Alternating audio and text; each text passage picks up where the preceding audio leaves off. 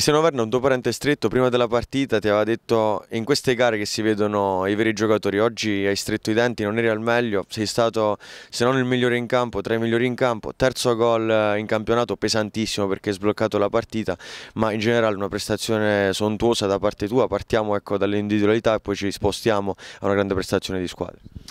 Sì, questa settimana ho passato diciamo, una settimana un po' complicata perché sono uscito malconcio da domenica scorsa però c'era bisogno di stringere i denti e l'ho fatto e per fortuna e per, anche per, per, bravura nostra ho fatto una buona partita e ho segnato anche quindi sono contento.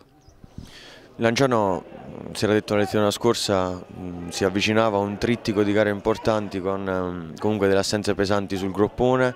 Oggi è stato dato un segnale importante perché non, so, non tutte le squadre vincono qui e vincono convincendo come ha fatto il Lanciano oggi. E cosa ti aspetta anche dalle prossime partite visto che ora avete altre due gare eh, in pochissimi giorni?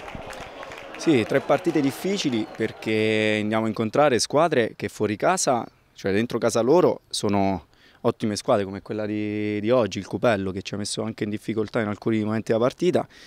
Poi abbiamo la Torrese, quindi è un, eh, diciamo uno scontro diretto e abbiamo il Delfino Flaccoporto che comunque in casa è una squadra ostica che dobbiamo affrontare questa settimana e cercare di portare più punti possibili a casa, sperando di, di portare sempre tre punti.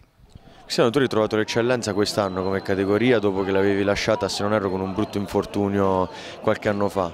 Mm, un paio, due o tre anni in promozione, l'anno scorso hai fatto la differenza al Lanciano andando anche in doppia cifra mm, considerando la Coppa. Ti aspettavi un impatto nuovo con l'eccellenza, forse più forte di quello precedente?